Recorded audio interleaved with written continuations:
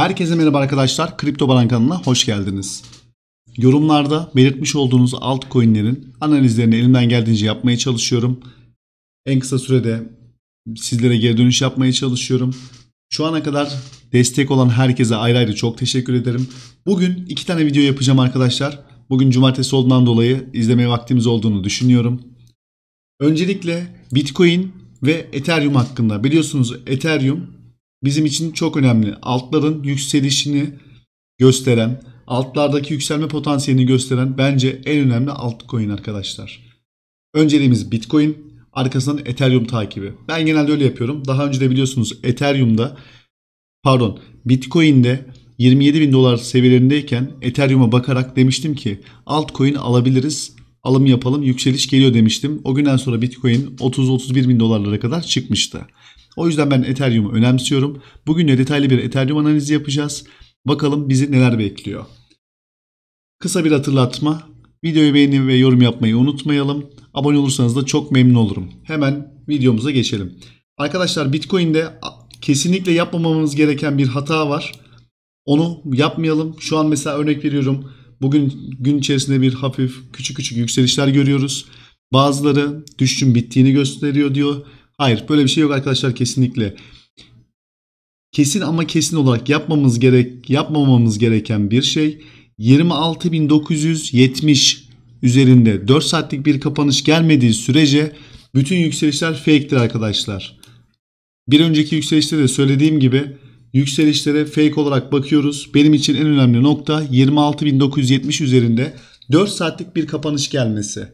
Bakın şöyle göstereyim hemen. Şurada belirttiğim direnç seviyesinde red yedik tekrardan 20 saattir oyalanıyoruz. O yüzden 29.700 pardon 26.970 seviyesi çok çok önemli. Al, alım yapacak arkadaşların 26.970'li seviyeyi takip etmesini öneririm.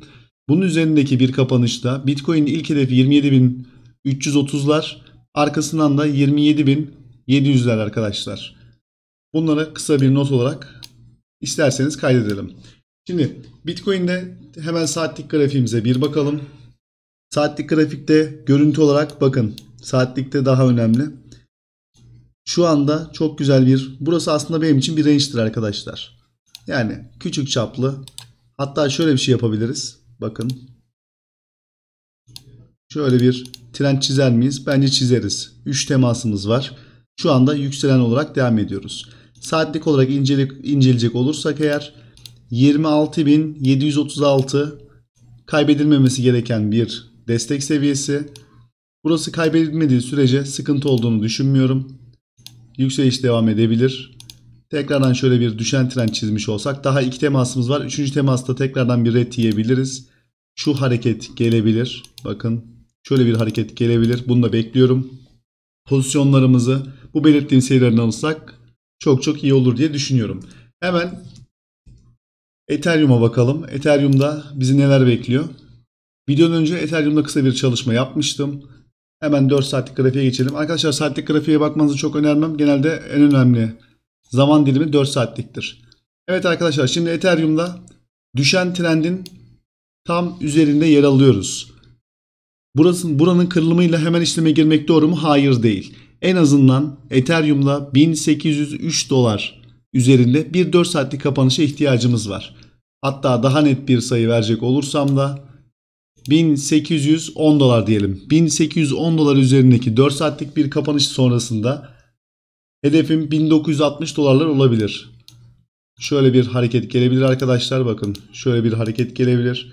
Tekrardan şuraya ve arkasından da 19.500'lü seviyelere Ethereum'da ilerleyebiliriz. 1810 dolar seviyesini kesinlikle aşıp orayı destek haline getirmemiz önemli. Alt desteğimiz şu anda 1740 dolar seviyesi. 1740 doların mutlaka ama mutlaka kaybedilmemesi gerekiyor. Ethereum'da 1740 doları kaybetmemiz diğer altcoin'lerde de aynı şekilde düşüşle sonuçlanacaktır diye düşünüyorum. 1740 doların altında herhangi bir 4 saatlik kapanış sonucunda da 1385 dolarlara kadar bir düşüş yaşayabiliriz. Bugün dediğim gibi ikinci videoyu paylaşacağım birazdan. Bu videoya beğeni ve yorum yaparak destek olabilirsiniz abone olmanızı da rica ediyorum. Görüşmek üzere.